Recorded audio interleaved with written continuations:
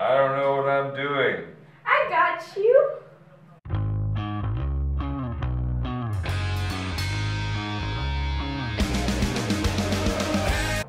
There we go. Hi, I'm Hayley Peterson. I want to work for Bridges to Prosperity this summer. I wanted to become a structural engineer because I feel like engineering can make a tangible impact on people's lives. Where doctors, they affect the person's body, engineers, they really create things that people can hold in their hands, and those things can define their future. I love Bridges to Prosperity because they do this. They go into new developing communities and they help those people cross obstacles that would not have been possible without engineers' help. Action.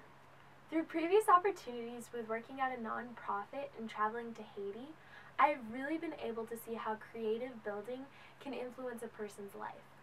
Along the way, I have truly changed as well. This is why I would love to intern at your company this summer.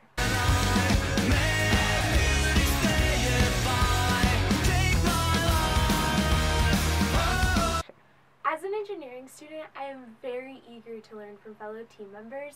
I am also eager to get to know the people in the communities which you help.